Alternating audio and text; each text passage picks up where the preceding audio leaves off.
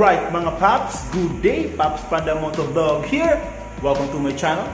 So ayun mga paps, tagal-tagal din bago ako nakapag-upload. so yun, bale sobrang iksi lang, sobrang iksi lang na video na to.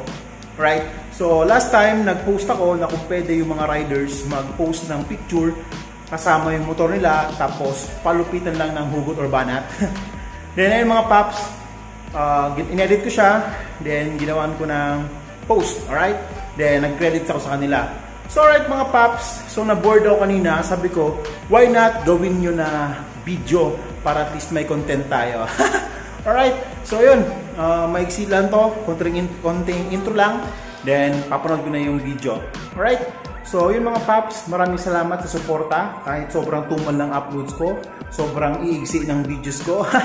Alright, stay safe, keep safe. So ito na, i-play ko na yung video. Takpan ko na, panoorin nyo na. Alright!